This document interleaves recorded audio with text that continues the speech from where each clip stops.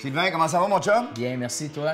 Oui. Aujourd'hui, je te présente un autre produit de Nibrou, la Maudite, que tout le monde connaît. La Maudite, euh, c'est ce qu'on appelle une bière double, deux fois plus pour cent d'alcool qu'une bière régulière.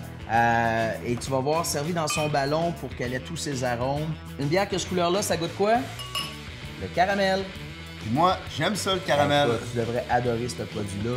Beaucoup d'épices, beaucoup, ça ressort. Le petit côté grillé que j'aime bien. Écoute, ça me fait penser. À quoi? Aujourd'hui, là, je fais carnivore, je fais juste de la viande, mon chum. Ça, avec mon steak de flan.